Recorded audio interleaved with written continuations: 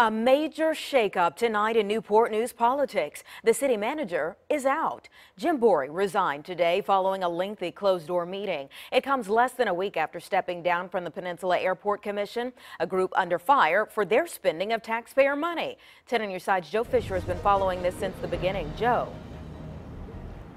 Well, Anita, it's that drama at the Newport News Williamsburg Airport that Councilwoman Sharon Scott says has led to a public outcry over transparency. A state audit into the airport's finances, she says, has given the city a bad name, a city that tonight has new leadership.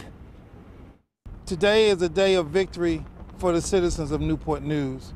Rejoicing outside City Hall is the president of the Peninsula chapter of the SCLC, who've been calling for city manager Jim Bourey to resign since shortly after he arrived in 2013. When you're in a position of trust for the citizens, you got to do the will of the people. You got to answer to the citizens. What we do know is Tuesday, the council unanimously accepted Bourey's resignation after reviewing his job performance for two and a half hours.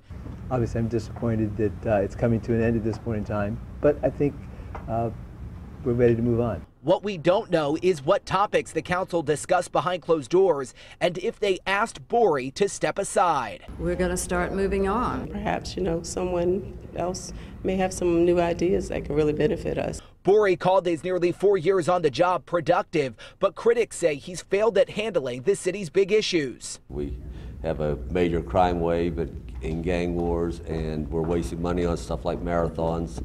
The resignation comes just days after Bourey resigned from the Airport Commission. The state accuses the airport of unauthorized spending when they used $3.5 million to pay off a bank loan that should have only been used for capital improvement projects. Bourey was on the commission in 2014 when the check was signed. Councilwoman Sharon Scott hopes Bourey's departure will bring about new trust in city government. We do work for the citizens, so citizens are concerned with some of the things that has been going on, and, and so has council been.